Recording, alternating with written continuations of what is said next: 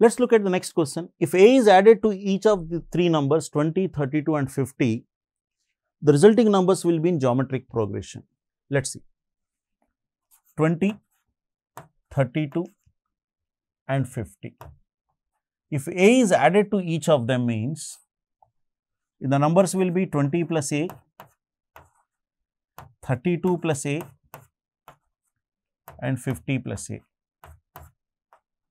They are in geometric progression. If they are in geometric progression, if ABC are in, if XYZ are in geometric progression, what we say y square is equal to xz. So, what we can say is 32 plus A whole square will be equal to 20 plus A 20 plus A into 50 plus A. Now, if you simplify this, this is A square plus 2AB that is 64A plus 1024. If you multiply this A square 20A plus 50A 70A plus 1000. Now, A square both sides will get cancelled 64a goes other side 70 minus 64 6a equals to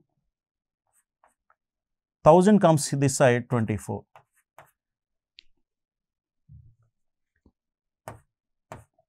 If 6a is 24, 6 fours, a is 4. Once a is 4, what these numbers will be? 24, 36, and 54. Now, what will be the next number is the question here. What will be the fourth term in this progression? If you see here friends, how the geometric progression will be in the form of A, AR, AR square like this. Every time we will be multiplying with same number. If you see here 24 into 1.5 is 36 or you can see 36 by 24, 3 by 2. 54 by 36, 18 3 is 18 2 is 3 by 4. I mean sorry 3 by 2, 3 by 2 means 1.5 times. So, 54 into 1.5 will be 81.